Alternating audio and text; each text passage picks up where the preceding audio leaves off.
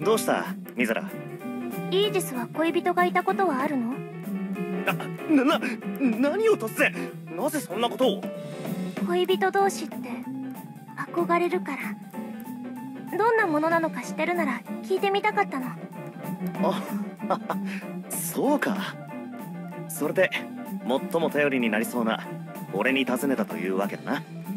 うんそうでももういいわ。さっきの反応で私の思い違いだったことが分かったから。こら待て。なんだその失礼な発言は。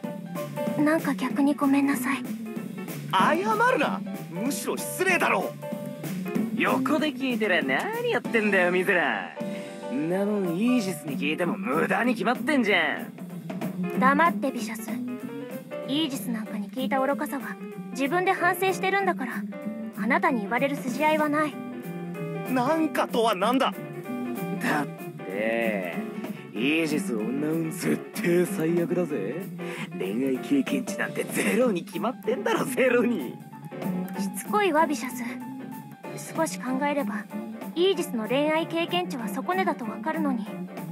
それを考慮せず質問してしまった自分を責めてるんだから。あなたまでつべこべ言わないで。なだよ。やんのか？やるの上等だ。面貸しなさい。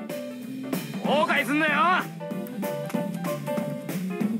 俺は俺はどこに怒りをぶつければいいんだ